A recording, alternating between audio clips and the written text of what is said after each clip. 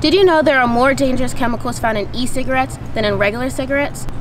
These chemicals can severely affect brain development. It's not worth it.